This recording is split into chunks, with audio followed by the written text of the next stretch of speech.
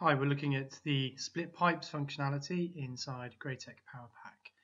This function will allow you to split not just pipes but ducts, rectangular and round, um, into specific sizes, so especially for manufacturing.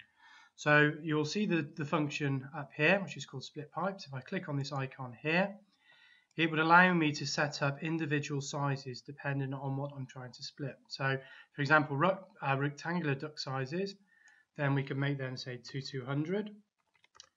We can change the round duct length to say 1200 and maybe make pipe lengths 750.